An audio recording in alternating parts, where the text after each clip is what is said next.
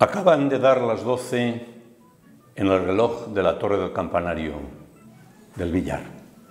Porque las campanas y los bandos, los bandos por las esquinas van a ser un poco el paisaje sonoro que ha marcado la vida de la persona con la que nos encontramos ahora mismo. La entrevista de hoy tiene un paisaje, unos recuerdos y unas vivencias que han de interpretarse en femenino y, en singular, porque de esta manera es la que hemos de entender a la persona que acompañamos en este rincón de su casa, en el rincón en donde ha pasado toda su vida.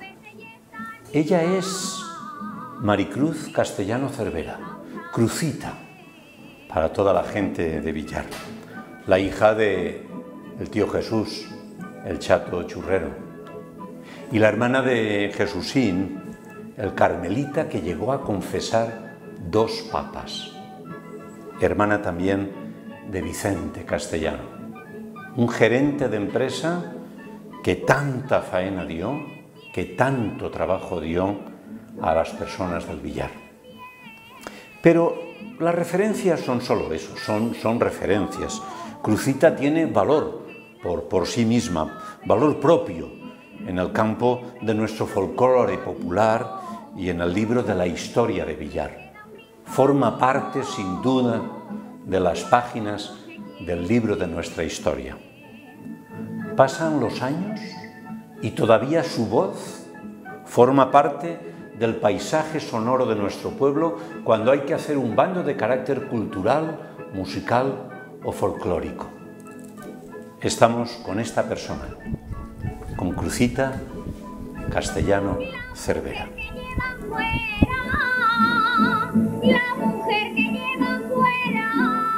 han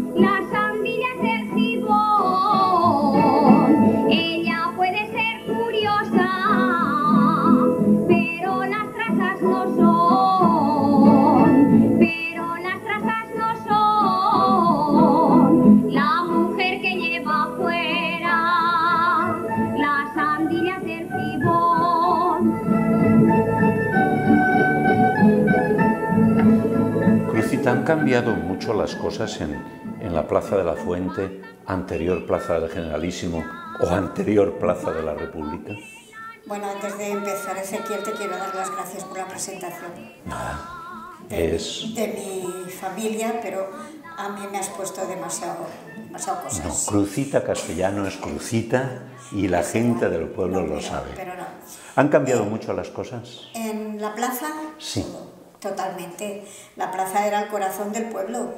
No solamente en fiestas, pero diariamente. La plaza era el mercado. La plaza era teníamos aquí el Café del Sol de tu familia precisamente, que era eh, donde la gente se reunía, donde la gente venía a tomar algo, pero no solamente estaba dentro del bar, se salían fuera, la plaza estaba llena siempre.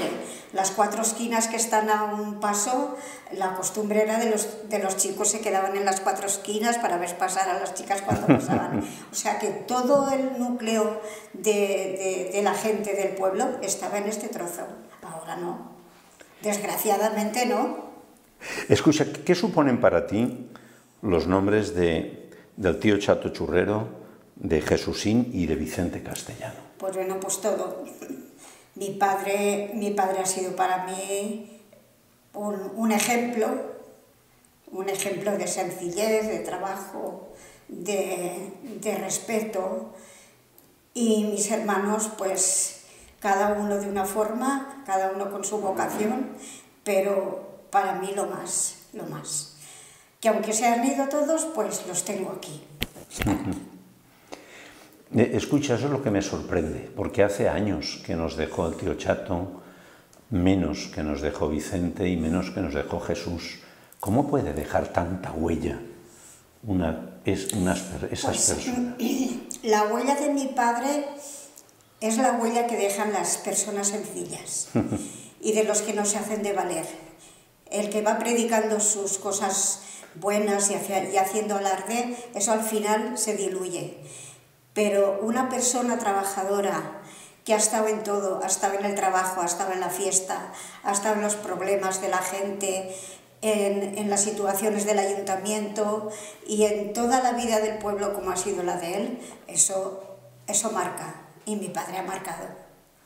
No quisiera que pasara desapercibida la figura de tu madre. ¿Qué recuerdas de ella? Porque madre, faltó cuando tú eras joven. Mi madre, yo tenía 19 años y mi madre tenía 50 cuando falleció.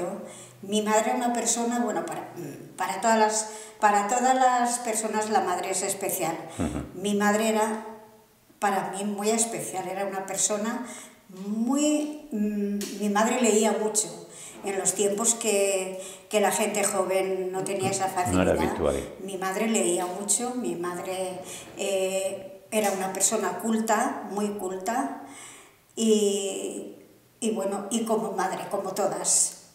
Es algo que yo hablar de mi madre me cuesta. Escucha, ¿llegaste a hacer churros con tus padres? Yo no. ¿Estaba aquí la churrería?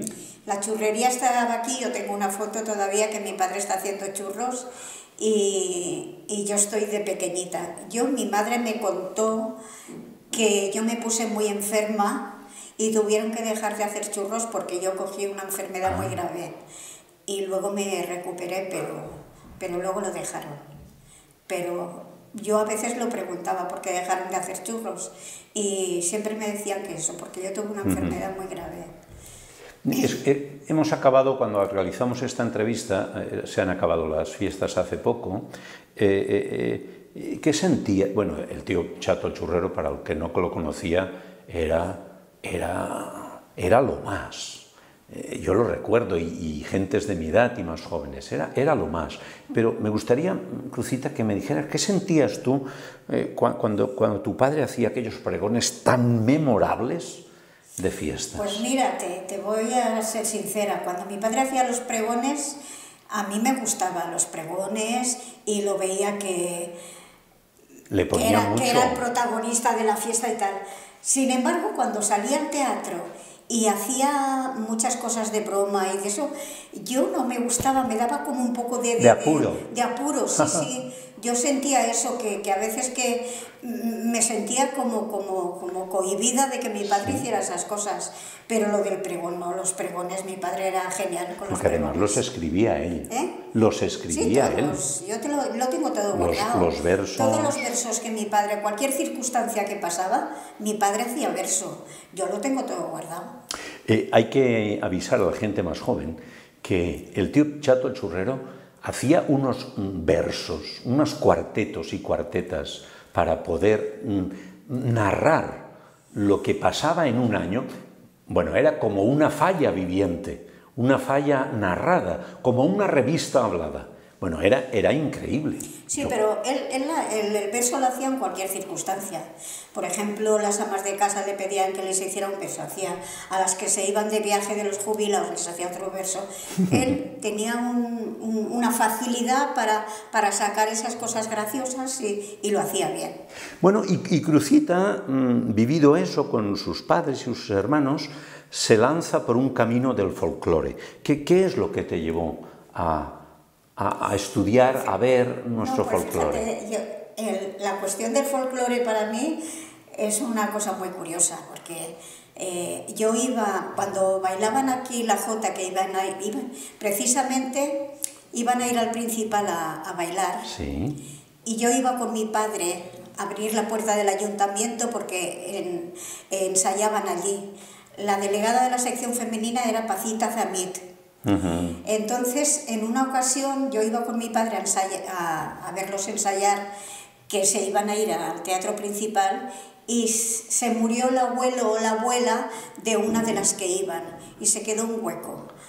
Y Pacita, recuerdo siempre que Pacita también me preguntó si yo quería ir. Para mí, el ir, con, con 16 años creo que tenía, sí, sí. a Valencia al principal con las del grupo, claro. yo para mí, yo recuerdo que vine a casa corriendo y subí y, y, se lo dije a mi madre llorando, que me habían dicho de ir a bailar, y mi madre, pero madre, yo no tengo ropa, yo no tengo ropa, y mi madre me dijo, no te preocupes, que vas a tener ropa. Muy bien. Y la primera vez que yo fui al principal fui con gente mucho más mayor que yo, y a partir de ahí pues he estado siempre metida en, estas cosas. aún rueda por, por internet un vídeo de la actuación del principal. Esa es más, posterior, aquello, te estoy hablando del 50 y 57 o por ahí, sí, sí. Me acuerdo que sí, la riada fue en el 57, 57. pues el 56 o por ahí. Fuimos a Valencia y yo era una cría, claro. Claro, eso es tu inicio. Pero después, ¿dónde está el gusanico? Pues durante mucho tiempo la cosa no, mm, bailábamos siempre para fiestas. Sí. Ensayábamos un poco y bailábamos para fiestas y luego la cosa se paralizó. Luego mm, hubo un momento de, de, un resurgir, no me acuerdo ahora por qué, pero nos comprometimos todos a, que iba la cosa para adelante y, y, la verdad es que fue para adelante con mucha afición. Eh, no nos ayudaba nadie, porque era, íbamos un poco por libre, ni cajas de ahorros ni historias. Nosotros con nuestro dinero nos compramos los trajes, nos compramos los mantones, nos compramos los trajes y empezamos a funcionar hasta que fuimos precisamente en un, en un festival del Principal también lo ganamos y eso nos llevó a ir a Zaragoza. Hablaremos de Ajebón un poco más tarde. Eh, hemos, hemos mm, llegado hasta aquí eh, dando una pincelada a la crucita familiar, a la crucita mm, que conocemos habitualmente en, nuestro pueblo, a la crucita con referentes familiares de padres, de hermanos, de, su madre. Hay una crucita que, que, la gente más mayor sí que conoce, la gente más joven no porque ha desaparecido, es la crucita de Telefónica, la telefonista, la que ponía la clavija y decía con quién quería hablar. De eso nos tendrías que explicar alguna anécdota, porque los teléfonos, los números de teléfono, aquí la gente no se los sabía. No habría libro para poner tantas, tantas anécdotas. Pero mm, yo recuerdo haberos visto en, en la, a ti y a, y a, Pili, ¿eh? a Pilar, ¿eh? en par descanso, ¿eh? sí, sí, y, y, os decían el mote, pásame con el tío no sé cuántos. aquí nadie decía el número. No, no, nadie si alguien decía el número, veíamos que no era de casa, que era, que era de fuera. De aquí, ponme con el tío tal, y, o, o, te llamaban chiquilla, ¿sabes quién se ha muerto? Y mire, y, y tenías, eh, nada, era, era, todo muy familiar. Por ejemplo, el médico, estoy buscando al médico y no sé, me llama a su casa y no, no está. Tú no sabes por dónde podría estar. Hoy, pues, era, es que ahora han pasado muchos años, pero, pero yo a veces esto lo cuento a gente joven y no lo, asimilan. Eso parece de marcianos. Tienes que decirles que erais, el, que erais el Google de aquella época. No, pero escúchame, también éramos un punto de, de encuentro de muchas personas que, que, no, oye, tú sabrías esto, lo otro, y, y les poníamos en contacto con... Incluso yo he llegado a llamar a no voy a decir el nombre, a un sitio, una persona que estaba en la mili, que no hacía muchos años, que no sabía, muchos tiempos que no sabían nada de él, y lo localicé. Hola.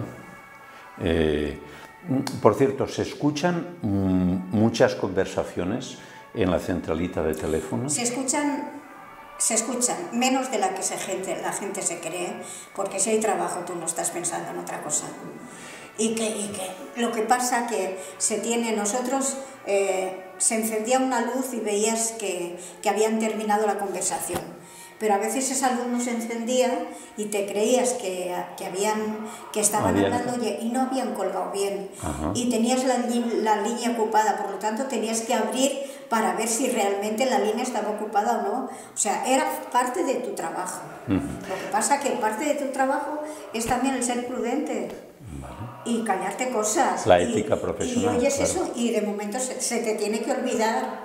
Y eso es la profesionalidad. Por lo tanto, se silencian también muchas conversaciones. Eh, ¿Quién acentuó...? Yo no he contado nada, nada de lo que casualmente he escuchado, ni lo contaré nunca. Bueno, yo tengo una conversación, porque yo estuve una noche con, cuando gestionaba la centralita Eduardo, el del tío Félix, pero tampoco la contaré. Luego te la contaré a ti a micro cerrado. Eh, mm, eh, tú eres una persona con mucho acento religioso. Eh, ¿quién, quién acentúa esa, esa- ese sentimiento, ese sentimiento Pues, religioso? de, de raíz, me- mi madre, de raíz mi madre, pero todo, todas las cosas las tienes que, que cuidar y las tienes que fomentar. Entonces yo desde siempre eh, he estado participando en, en muchísimas cosas en la parroquia, a nivel de coro, a nivel de catequesis, a nivel de formación, he estado siempre en cualquier grupo. Desde la primera vez que yo participé en la parroquia, es- todavía iba a escuela, porque vino don Eugenio a, a buscar voces para cantar la segunda pontifical de Perosi y necesitaba voces de niñas. Y me probó y fui a cantar. A partir de ahí ya no dejé, ya no dejé de, de ir al coro, ni luego, luego estuve de catequista, luego bueno, de lo que sea. Pero es, es una vida maravillosa estar en la parroquia. Una, una- si quieres me lo contestas, si no, no. ¿Han influido en ti las conversaciones con Jesúsín, con tu hermano? Mí, a mí me, las conversaciones con mi hermano, es que yo las conversaciones con mi hermano es mi hermano.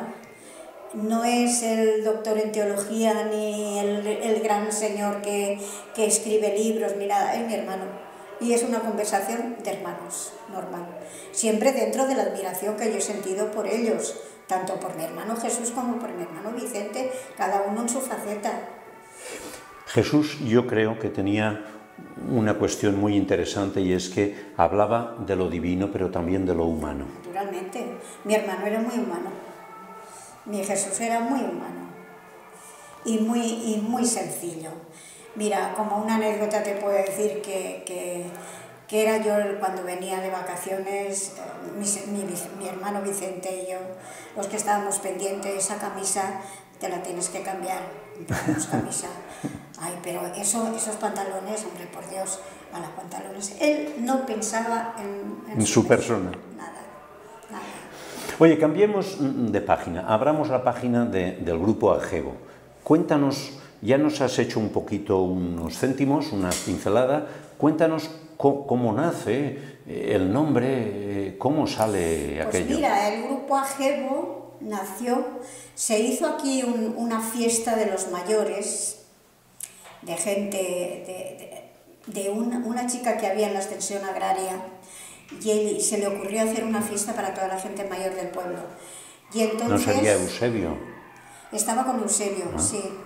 No me acuerdo ahora cómo se llamaba. Sí, sí. pero era un- una chica que trabajaba con, Con Eusebio. Eusebio. Y se hizo una fiesta para todos los mayores. A nivel de ahí, nosotros bailábamos una vez al año, el grupo Sí, sí. que había con, el, con la rondalla, que era el tío Rafael, el, el tío Salvador y unos cuantos mayores. Y cantaba, cantaban también dos personas, dos hombres mayores. Y a raíz de aquello se hizo un festival de mayores precioso. Y, y a raíz de aquello pensamos que, que esto podía ir a más y empezamos a moverlo. Y a partir de ahí empezamos a moverlo. Nosotros, yo creo que eso fue en el 76, porque en el 78 nosotros ya fuimos a Zaragoza. Por lo tanto, calculando serían un par de años antes. Crucita y grabar un disco, eso Sí, es toda no, una eso- eso historia. fue ya- Eso ya fue en el 80. Pero toda una historia. Sí, sí. ¿Bajasteis a los estudios? ¿Eh? ¿Bajasteis al estudio? Sí, sí, sí. Fuimos a los estudios, a, lo grabamos de la forma que se graba, porque es muy curioso. Primero hacer la música, luego poner la voz y esas Sí, sí, sí, sí, sí. Que, pero eso fue en el 80, en el 80. Eh, tuvo mucha difusión los sí, discos. de momento se hizo todo en cinta de cassette, que es lo que Sí, entonces se se llevaba. llevaba. Todo el mundo tenía el cassette en su casa. y, y la verdad es que yo creo que te hicimos una cosa muy bonita, porque ahí está. Claro. Hicimos unos cantos nuestros, luego algunos de, de las cercanías, están los mayos y algunas cosas más. Muy bonito, muy bonito y muy variado. ¿Por el folclore has llegado tú a la cultura? ¿Es una ventana hacia la cultura Hombre, el el folclore folclore? siempre es una cultura, pero se puede llegar a la cultura de muchas formas, pero el folclore es un- una de tantas. El folclore es que te enseña no solamente a nivel de, a nivel de música, a nivel de costumbres, a nivel de formas, a nivel de ropa, porque es que yo, la persona que nos gusta el folclore, estamos también muy pendientes de toda la, de toda la de todas las etapas de la ropa, lo que ha cambiado, las formas de un tiempo, de otro, y, y no solamente la música, es algo más. Te voy a decir un nombre y me dices qué te sugiere. Fermín Pardo. Fermín Pardo es una de las mejores personas que hay en la provincia de Valencia a nivel de persona como él, de folclorista, de trabajador, de prudente y de, y de todo. Yo a Fermín lo quiero mucho. Quedan, quedan todavía muchas prendas por sacar del fondo de las arcas. Yo creo que hay muchas arcas que ni siquiera se han abierto. Yo haría un remeneo, pero, pero guapo. Y aquí realmente tendría que haber un museo. Bueno, ahora veremos en qué queda el convenio de la Casa de los Cinteros. No lo sé, espero. ¿Eh? Espe porque la todos casa, esperamos. La Casa de los Cinteros no ha sido lo más lo que mejor resultado ha dado en este sentido. No, y sobre todo que a última hora ya estaba Supongo muy que se arreglará bien y Esperemos. se podrá hacer bien. Esperemos Pero en Villar tenemos una riqueza de ropa muy importante. Muy importante. Y la gente lo tendría que saber porque no solamente es... Porque eh, esto se lo ponían, pero saber esta ropa para cuándo era, aquella para cuándo era. Y es, eso es una riqueza, eso es cultura. Una última pregunta. ¿Tiene algún sentido el número 9 en tu vida? Todo. ¿Todo? Danos alguna Pues, pista. no lo sé, mira, el, el día 9 de enero se murió mi madre. Y a partir de entonces, el 9, mm, yo tenía 19 años. Y también es una cosa curiosa, que Sí, yo tenía sí, 19 sí, sí. años, se murió el 9 de enero. Mi, mi padre se murió un día 7, lo enterramos un 9 de febrero. Y me doy cuenta de que el 9 me, me sigue. Muy bien. ¿Y tú cómo sabes eso del 9? Ah, se dice el pecado, pero no el pecador. Diría tu hermano Jesúsín, se dice el pecado, pero no el Y pecador. tantas cosas con el 9. Te podría contar muchas, pero sí. Muy bien, pues hasta aquí la entrevista con Crucita. Una persona Pues, de Villar. Una cosa, muchas gracias, no por mí, yo no tengo nada que, que demostrar, pero el que os hayáis recordado de, de mi familia, pues para mí es, un- es una gozada. es un- muchas gracias. No, de nada, de nada. Una familia presidida por el amor. El amor a su madre, a su padre. Mira, se me pone la carne de gallina diciéndolo, ¿eh? A sus hermanos. Presidida por la Virgen de la Paz, ahora mismo. Aquí está. Eh, y presidida por los apellidos eh, castellano, Cervera, que han estado también presentes en esta entrevista. Crucita, una mujer de Villar que tanta gente de este pueblo quiere, saluda y además la tiene presente. Crucita, muchas gracias. Muchas gracias a vosotros.